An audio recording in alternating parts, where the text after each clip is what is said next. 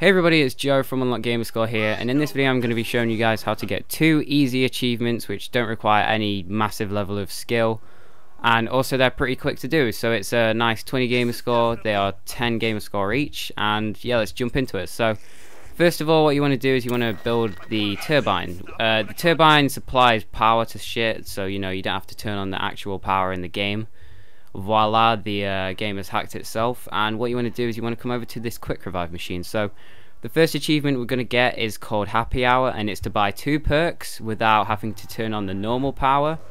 And uh, the way how you're going to do this is use the turbine like I showed you there. Oh yeah, by the way, both achievements in this video do require you to use the turbine to uh, actually well be able to do the different things to get the achievements. So uh, quick revive costs 1,500 if you're playing on multiplayer, and it only costs 500 if you're playing on solo. So uh, I was playing on multiplayer because me and another guy were going to get this achievement, and um, I just decided not to play in solo. So you know. Uh, anyways, what you want to do is you want to then go over to the diner, which is the next destination if you take the bus. Make sure you have 750 points because you want to open that door, and then make sure you have another 3,000 points to get Speed Cola. So that allows you to get the achievement, which is to buy two uh, perks without uh, without having to turn on the actual power.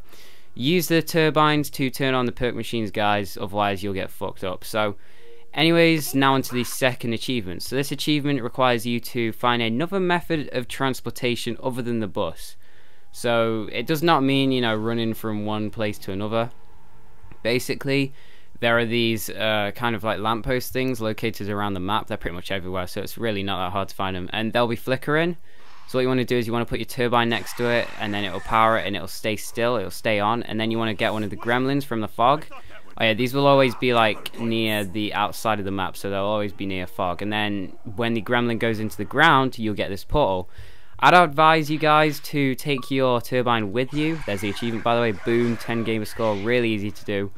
I'd advise you guys to take the turbine with you guys because uh, anyways like you can use these throughout the map and it's pretty hard to run through the fog and if you don't have Juggernaut then you can die in lava. But anyways it was a pretty annoying part. This fucking the bus driver just comes over and absolutely rams down my goddamn turbine, so it makes it impossible for me to get back. But fortunately I managed to jump onto the bus so yeah um, he's okay for actually letting me on but kind of an asshole for breaking my turbine so thanks guys for watching, I hope you all enjoyed. If you'd like to see some more achievement guides, let me know down in the comments section below, or just like the video. If you'd like to see a certain achievement guide uh, for something that perhaps maybe you're stuck on and I have the game, then tell me in the comments and I'll make a video on it. So thanks guys and goodbye.